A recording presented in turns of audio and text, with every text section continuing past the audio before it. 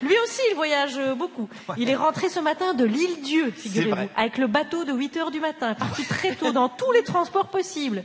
Et il y a un moment, je ne sais pas quand, mais il a même réussi à passer par le Havre en plus. N'est-ce pas, c'est Guillaume Meurice? Mais oui! Merci Oui, oui, parce que je vais vous parler de la star politique du moment. Et Édouard Philippe, évidemment, on le voit partout. C'est la personnalité politique préférée des Français, selon les sondages. Alors évidemment, ça dépend où vous faites le sondage. Si vous le faites à la rédac du JDD, bon, bah, c'est Pinochet, la personnalité préférée.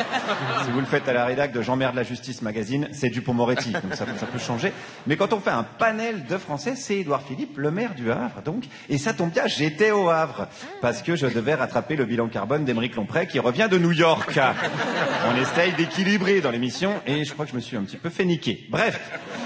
Pourquoi les gens aiment tellement Édouard Philippe C'est ma question du jour. Euh, bah, écoutez, il a déjà, quand il était Premier ministre, bah, il n'a pas fait trop de, trop de bêtises, bien que ce soit un boulot difficile, si vous voulez. Qu'est-ce qu'il a fait de, de- de bien ou de marquant quand il était Premier ministre? Quand il a été Premier ministre, euh, je pense qu'il a fait de bien. euh, bah, je pense qu'il a fait des choses, oui. Alors, euh, je sais, je, je- je ne me rappelle plus, si vous voulez, parce que. Oui, c'est ça, on se rappelle plus trop. Non. Ouais, ouais, on sait- il a fait tellement de choses que si, il y a bien... euh, quand, quand il, si, quand il a fait... euh, pff, ouais, non, tellement de choses merveilleuses, on ne sait plus. Mais j'ai continué à chercher quand même. Hein. Oui, non, non, il, est- non, il était un, très, un bon Premier ministre, moi, je, je, je trouve. oui. Vous vous souvenez plus d'un fait marquant? Mais je me souviens plus trop de, de- de- de ce qu'il a euh, à l'époque.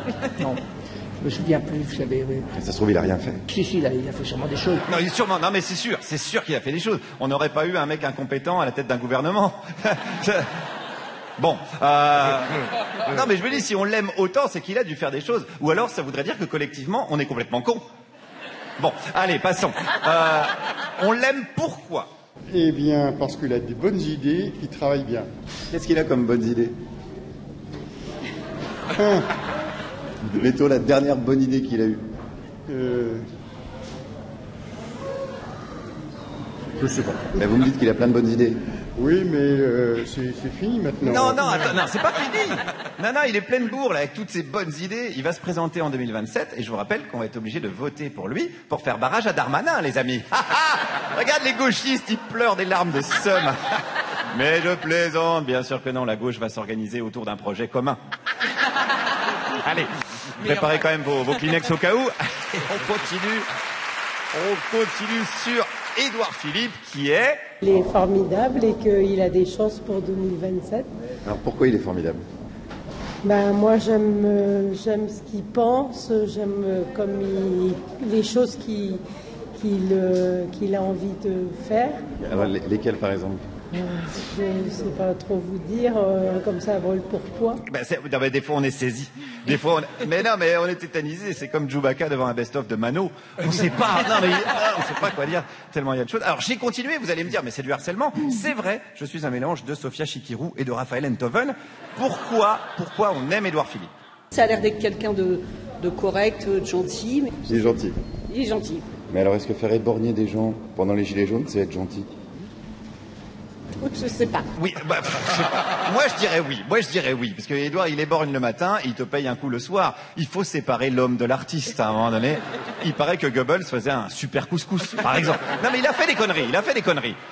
Mais ça n'enlève rien de ses qualités humaines. Allez, concluons, parce que je crois qu'on s'égare vraiment beaucoup. Concluons, mais comment parler des yeux et de la vision C'est quoi Édouard Philippe, avant tout? Visionnaire, déjà. C'est un visionnaire, Edouard Philippe? Qu'est-ce qu'il a comme vision? Bah, disons que lui, il est. euh, comment dire. euh, il voit les choses.